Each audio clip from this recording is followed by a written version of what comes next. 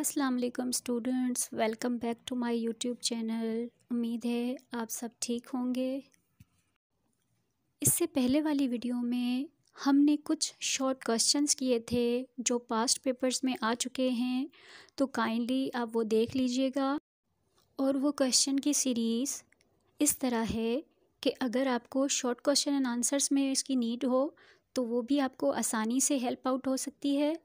और उसके अलावा अगर आप M C Qs point of view से देखें तो M C Qs point of view से भी आपका कॉन्सेप्ट क्लियर होगा। जैसे कि हज़रत अबू बकर सिद्दीक़ रज़ी अल्लाह ताला अनहा के बारे में तीन लेक्चर्स और एक क्वेश्चन आंसर सीरीज़ अपलोड हो चुकी है चैनल पे, आप डिस्क्रिप्शन में जाके प्लेलिस्ट देख सकते हैं। और आज का हमारा टॉपिक है, जो हज़रत अबू बकर सिद्दीक़ के दौर में इस्लामी रियासत की तोसी के लिए क्या पॉलिसी अख्तियार की? तो आइए, हम उनके बारे में जानते हैं कि उनके दौर खिलाफत में इस्लामी रियासत को किस तरह से तोसी मिली। जिस तरह स्लाइड में कुछ टॉपिक्स आपसे, आपके सामने शेयर किए गए हैं, हज़रत अबू बकर सिद्दीक रज़ी अल्लाह के दौर खिलाफत में अहम जो फतूहत हुई थी, वो कौन सी थी? इस्लामी फतूहत का आगाज़ हुआ था इराक़ की फतूहत से, जिसमें जंग सलासल या जंग काजमा और मार का मज़ार जंग दजला, जंग अलीस अहल हीरा से जंग और अंबार पर मुसलमान फ़ौज का कब्ज़ा एनल तमर का मार्का और दोमतुल जंदल की तस्खीर और फ़राज की फ़तह, ये इराक़ की फतवाहत में शामिल हैं। ये कुछ मार्के थे जो मुसलमानों ने किए थे। इसके बारे में हम थोड़ा ब्रीफली पढ़ेंगे। उम्मीद है आपको समझ में आएगा। तो शुरू करते हैं। जिस तरह हम सब जानते हैं कि आप सल्लल्लाहु अलैहि वसल्लम ने अरब की हदूद में हक़ व बातिल की जंग लड़ते रहे और जब उनका मिशन पूरा हुआ और दायरा इस्लाम में लोग दाखिल होना शुरू हो गए, इस्लाम कामयाब व कामरान हो चुका था तो मुसलमानों ने इस्लामी सल्तनत की तोसी की तरफ़ तवज्जो दी। इस्लामी सियासत की तोसी का आगाज़ हज़रत मोहम्मद सल्लल्लाहु वसल्लम की वफ़ात के बाद खलीफ़ा अव्वल को मिला। और इस तरह से हज़रत अबू बकर सिद्दीक़ ने मुल्क के अंदर जो शोरशें थी, उन पर काबू पाने के बाद इस्लामी सल्तनत की तोसी की तरफ़ तवज्जो दी। आपके दौर में इराक़ व शाम के इलाक़ों में ईरानियों और रूमियों से मारका रई के ज़रिए फतूहत का आगाज़ हुआ। इराक़ व शाम उस ज़माने में ईरानी ईरानी और रूसी सल्तनों के दरमियान पिस रहे थे। कभी ईरान शाम पर चढ़ाई करके उसे रूमियों से छीन लेते और कभी मुलहिक करके अपने मातहत कर लेते। तो शुरू करते हैं इराक़ की फतूहत से। इराक़ पर ईरानी सल्तनत का तसल्लुत कायम था। और हज़रत अबू बकर के अहद में ईरानी सियासी हालात इंतहाई ख़राब थी।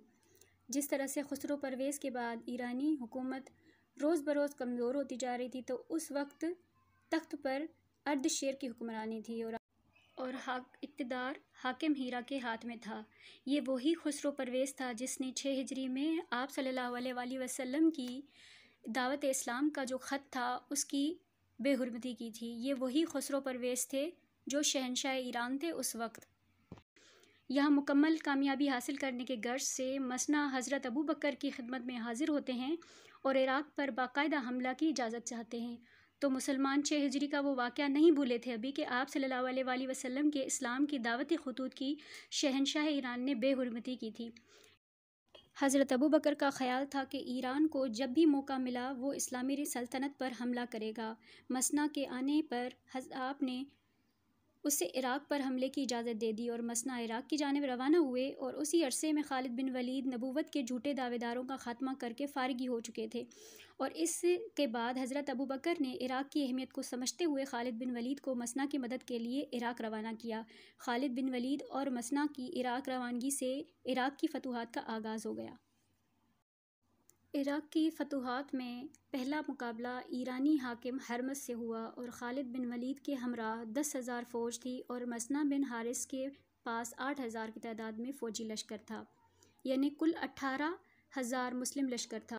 और खालिद बिन वलीद ने पूरे लश्कर को तीन हिस्सों में तकसीम कर दिया और तीनों के मुख्तलिफ़ रास्तों से रवाना किया। इस्लामी लश्कर में एक हिस्से की क़यादत मसना, दूसरे हिस्से की अदी बिन हातिम और तीसरे हिस्से की खालिद बिन वलीद कर रहे थे हज़र तक पहुँच गए और जब ईरानी हाकिम हरमस को खालिद रज़ी अल्लाह की रवानगी का इल्म हुआ तो वो लश्कर की आमद की इतला शहनशाह ईरान अर्दशेर को भिजवा कर ख़ुद एक जमात के साथ मक, हज़र के मकाम पर पहुँचा। हज़र तक पहुँचने के बाद खालिद बिन वलीद ने वहाँ के हाकिम हरमस को इस्लाम की दावत भी दी और खालिद बिन वलीद ने ख़त लिखा कि तुम इस्लाम ले आओ, अमन में रहोगी। अगर ये बात मंजूर नहीं तो ज़िमी बनकर हमारे सल्तनत में शामिल हो जाओ और जजिया देना कबूल कर लो। अगर ये पेशकश भी तुम्हें मंजूर नहीं तो बाद में पछताने से कोई फ़ायदा नहीं होगा, क्योंकि तुम्हें एक ऐसी कौम से मुकाबला करना है जो मौत की इतनी ही आर्जूमंद है जितनी तुम ज़िंदगी की ख्वाहिश रखते हो।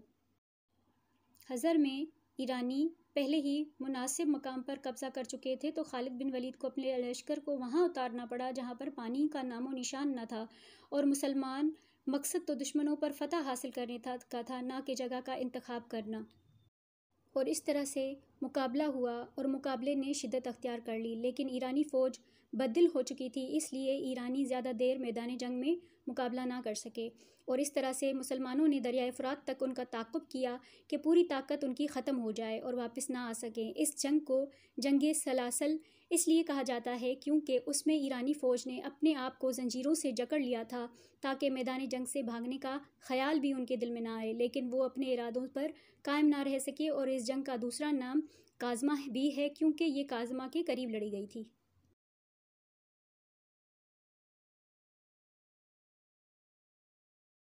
जैसे कि आप जानते हैं कि इससे पहले वाली वीडियो में जंगी सलासल या जंगी काजमा के बारे में समझा। खालिद बिन वलीद और इस्लामी लश्कर की रवानगी की इतला मिलने पर हरमज़ ने अर्ध शेर को हालात से आगाह कर दिया था और ख़ुद मुकाबले के लिए रवाना हुआ। अर्ध शेर को हरमज़ का ख़त मिला कि उसके लिए ज़रूरी मुकाबले के लिए फ़ौजी तैयारियाँ की जाएँ। हरमज़ की मदद के लिए अर्धशेर ने एक फ़ौजी कार्न बिन करियानस की मातहती में रवाना कर दी। इधर हरमज़ खालिद बिन वलीद के मुकाबले पर मारा जा चुका था, उसका लश्कर मैदान जंग से भाग चुका। मज़ार के करीब हरमज़ के शिकत खुर्दा, लश्कर और कान की मातहती में रवाना होने वाला लश्कर, जिसे अर्धशेर ने खुद रवाना किया था, आपस में मिले और कान ने उस लश्कर को अपने साथ मिला लिया। खालिद बिन वलीद के मुकाबले के लिए रवाना हुआ और मज़ार के मकाम पर पड़ाव डाला। मज़ार एक नदी के किनारे वाक़ है जो दजला और फ़रात को आपस में मिलाती है। खालिद बिन वलीद को अर्धशेर के भेजे हुए लश्कर की इतला मिली तो अपना लश्कर लेकर वह मज़ार के मकाम पर आए हरमस की और फ़ौजी लश्कर की शिकस्त ने ईरानियों को बहुत ही बेचैन कर दिया था। वो उसका बदला मुसलमानों से हर हालत में लेना चाहते थे। यही वजह थी कि उनमें जोश खरोश काबिल दीद था। हालाँकि वो इस्लामी की ताकत से खौफजदा भी थे और दोनों फ़ौजें अपने मकाम पर पहुँच चुकी थीं। मुकाबला हुआ और मुसलमानों ने उनका मुकाबला किया और सरदारों के मरने के साथ ही ईरा, ईरानियों की हिम्मत भी टूट गई और चंद ही लम्हों में उन्होंने मैदान जंग छोड़ दिया। भाग जाने पर मजबूर हो गए। इस मार्के में तीन हज़ार दुश्मन मारे गए। ये था इराक़ की फतवाहत का दूसरा मार्का, जिसमें मुसलमानों को शानदार कामयाबी हुई और इसी कामयाबी में खालिद बिन वलीद की जंगी महारत को इंतहाई दखल था, जिसकी वजह से इस्लामी फतवाहत के आगाज़ ही से कसरा और वो फ़ौजें जिन्हें अपनी ताकत पर नाज था मगलूब होनी शुरू हो गईं। इस इलाके की फ़तह के बाद खालिद बिन वलीद ने इस इलाके के नस्म नस्क की तरफ़ तवज्जो दी। और इलाके के तमाम लोग ज़िमी करार पाए और उन पर जजिया लगाया। उसके बाद हमारा नेक्स्ट टॉपिक है जंग दलजा। जंग सलासल और जंग मज़ार की शिकस्त की इतला शेर को मिल चुकी थी और उसका जोश व खरोश इंतकाम इंतहाई उरूज पर था।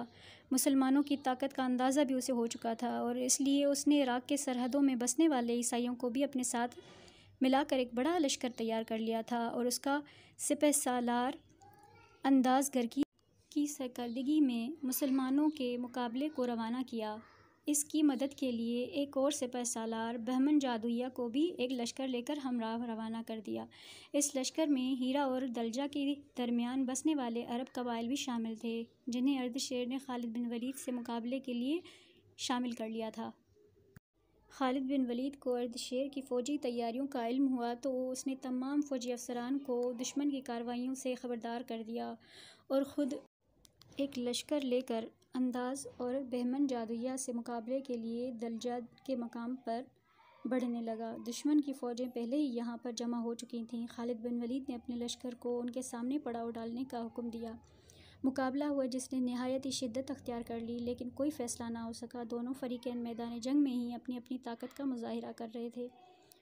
जंग जंग ने संगीन सूरत अख्तियार कर ली। खालिद बिन वलीद ने एक नई तदबीर सोची कि जिसने लड़ाई का रुख बदल दिया। उन्होंने अपनी फ़ौज के दस्तों को अलहदा करके उन्हें दुश्मनों के पीछे छुपा दिया और लड़ाई की सूरत हाल के मुताबिक उन्हें अचानक हमले का हुक्म दिया और बकिया लश्कर ईरानियों से लड़ता रहा।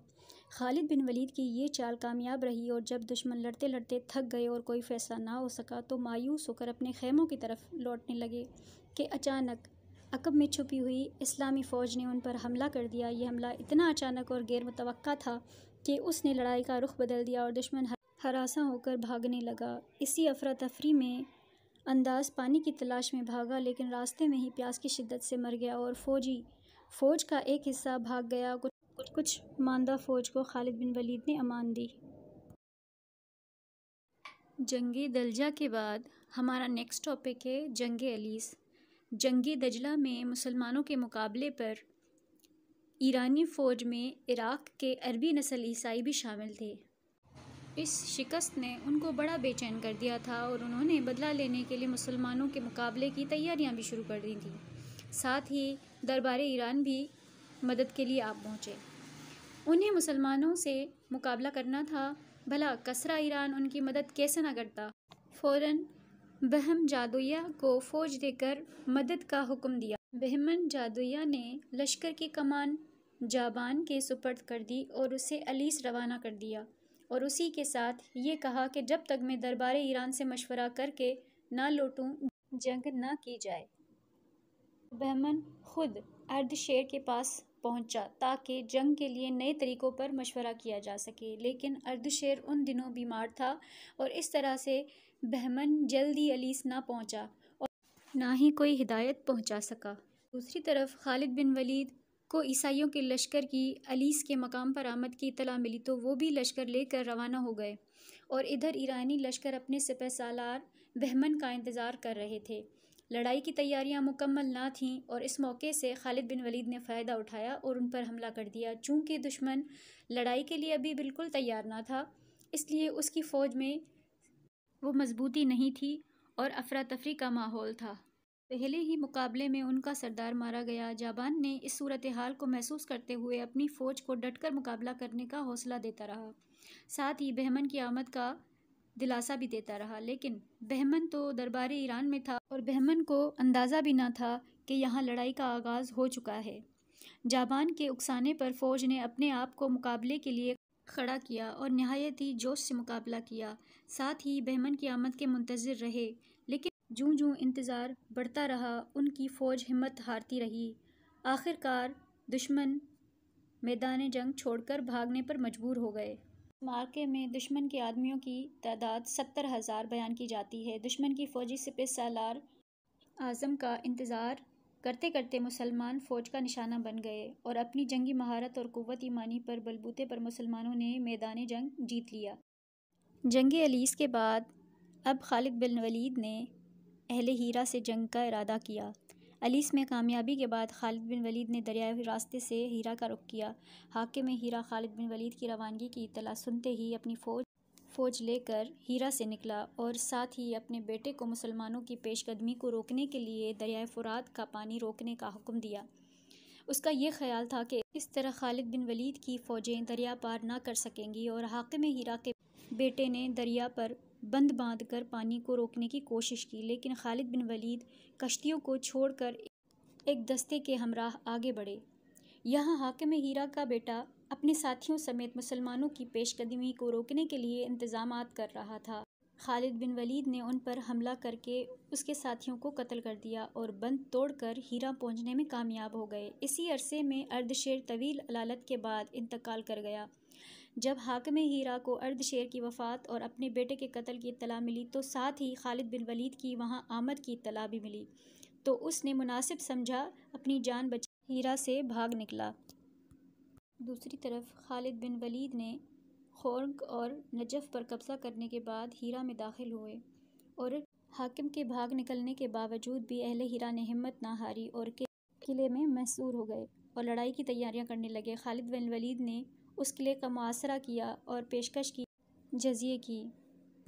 लेकिन बजाय सुलह के उन्होंने संगबारी शुरू कर दी और मुसलमानों ने भी जवाबन तीरों की बारिश शुरू कर दी, जिसने अहले हीरा को परेशान कर दिया और उन्होंने सुलह की पेशकश की और इस तरह से वो किले से निकले और खालिद बिन वलीद के पास आए और आखिरकार एक लाख नबे हज़ार दरहम सालाना जजिया की अदायगी पर सुलह हुई। और अहल हीरा अब मुसलमानों की हिफाजत में रहेंगे। अगर मुसलमान अपनी ज़िम्मेदारी में नाकाम रहे तो जजिया नहीं लिया जाएगा। और अगर जजिया देने में बदअहदी की गई तो उनकी हिफाजत की ज़िम्मेदारी मुसलमानों पर आयद नहीं होगी। नेक्स्ट है, अंबार पर मुसलमान फ़ौज का कब्ज़ा। खालिद बिन वलीद ने अगरचा हीरा पर कब्ज़ा कर लिया था, लेकिन उसके बावजूद भी इराक़ की मुहिम ख़त्म नहीं हुई थी। इसलिए हीरा पर कब्ज़ा कर लेने के बाद खालिद बिन वलीद ने फिर अपना लश्कर मुनज़म किया और अंबार की तरफ़ रुख किया। अंबार पहुंचकर शहर का मुहासरा कर लिया। शहर के इर्द गिर्द गहरी खंदक और मज़बूत फसील थी। ईरानी अपनी हिफाजत के लिए मैसूर हो गए थे। मुसलमानों ने तीरंदाजी शुरू कर दी, लेकिन ईरानी इस तीरंदाजी से मुतासर ना हो सके। खालिद बिन वलीद के लिए ये बात इंतहाई परेशान कन थी कि यह मुहासरा तूल पकड़ जाएगा और ईरानियों पर काबू पाना मुश्किल हो जाएगा। इसलिए वो खंदक पार करने की राहें ढूँढने लगे। एक जगह से खंदक नस्बता कम छोड़ी थी, इसलिए खालिद बिन वलीद ने मुसलमान फ़ौज को अपने लश्कर के बीमार ऊँट ज़िबा करके खंदक में गिराने का हुक्म दिया। ये तजवीज़ कारामद साबित हुई और मुसलमान खंदक पार करके अंबार की फसील तक पहुँचने में कामयाब हो गए। यहाँ पहुंचकर फरीकीन के दरमियान सख्त मारका हुआ। ईरानी फ़ौज का सिपह सालार शेरजाद मुसलमानों के हमला को रोकने की कोशिश करता रहा, लेकिन उसे कामयाबी ना हुई। कामयाबी की कोई सूरत ना पाकर शेरजाद ने खालिद बिन वलीद को सुलह की पेशकश की, जिसे खालिद बिन वलीद ने कबूल किया और साथ ये शर्त लगाई कि शेरजाद या बगैर किसी हथियार के अपने साथियों के हमरा शहर से निकल जाए तो उसे अमान दी जाएगी। शेरजाद ने अपनी हिफाजत के लिए इस शर्त को भी कबूल कर लिया और शहर से निकल गया खालिद बिन वलीद फ़ातिहाना अंबार में दाखिल हो गए।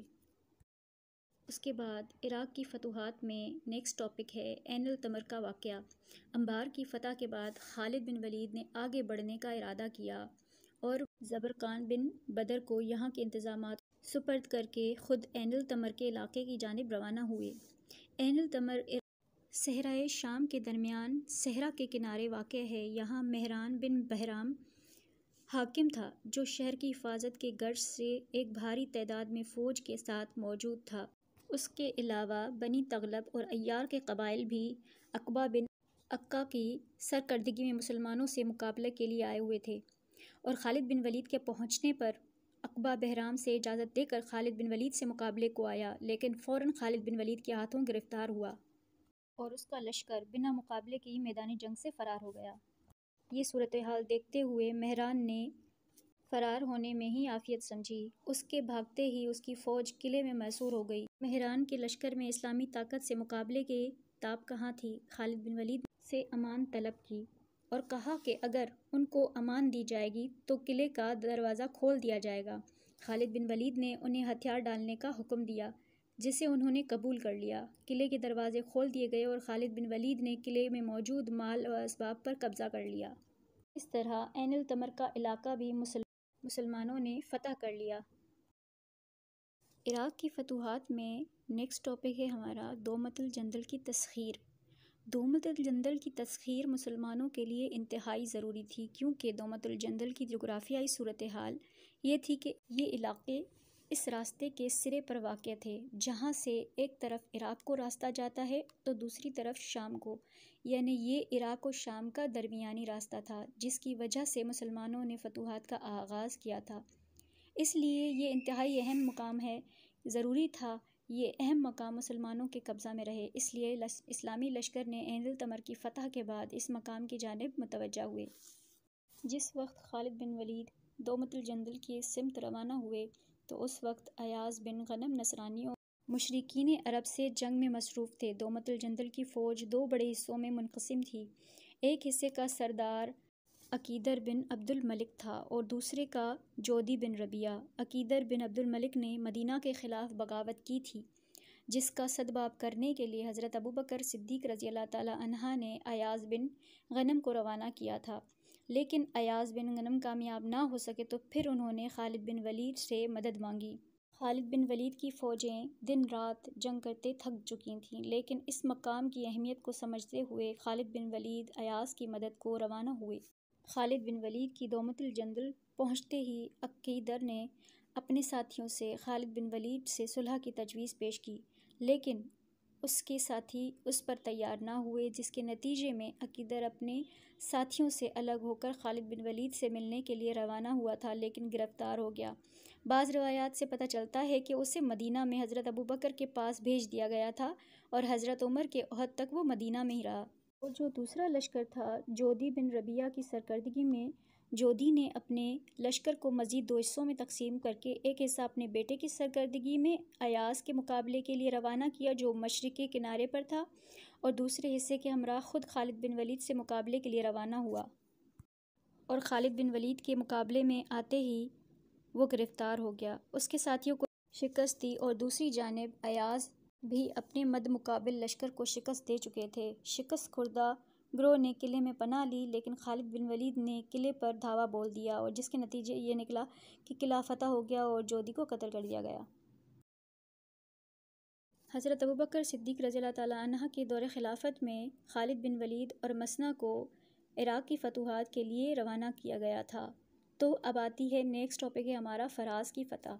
फ़राज की फ़तह में खालिद बिन वलीद और मसना बिन हारिस ने इराक़ की मुहिम का जो आगाज़ किया था, जिसके हर कदम पर उन्हें शानदार कामयाबी हो रही थी, उनकी इस शानदार कामयाबी की खबरें सारे इराक़ में फैल चुकी थीं। सहरा में रहने वाले कबाइल खौफजदा थे और उनका ख्याल ये था कि अगर खालिद बिन वलीद उनके मुकाबले को भी आएँगे तो मुकाबले की हिम्मत उनमें ना थी, इसलिए उन्होंने खालिद बिन वलीद के पहुँचते ही अतात कबूल कर ली थी और दरियाए फ़ुरात के साथ शुमाली इलाकों में तमाम कबाइल अतात कबूल कर चुके थे और खालिद बिन वलीद शाम, इराक़ और जजीरा के सरहदी मकाम फ़राज पहुँचे।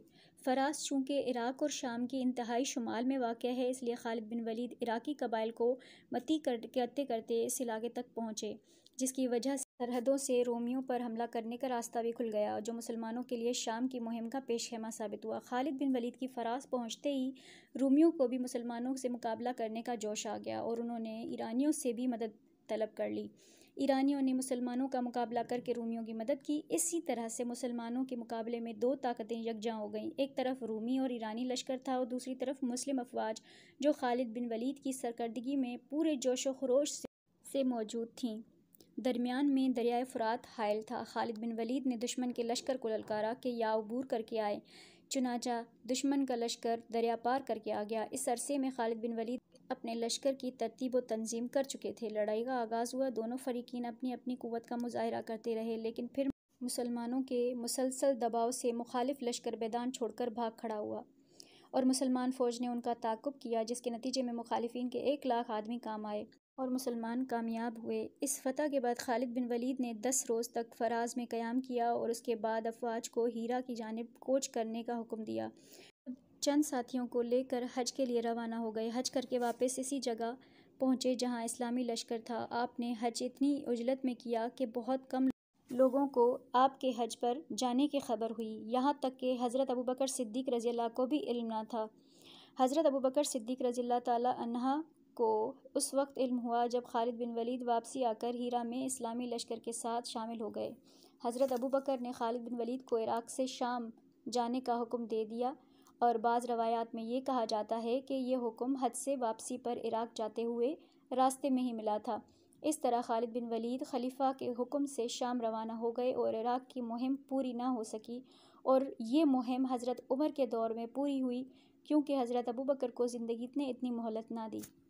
तो स्टूडेंट्स ये थी हज़रत अबू बकर सिद्दीक़ रज़ी तहा के दौर ख़िलाफ़त में इराक़ की फतूहत का आगाज़ हुआ, जिनमें हमने टॉपिक्स को डिस्कस किया। उम्मीद है आप सबको समझ में आ गया होगा।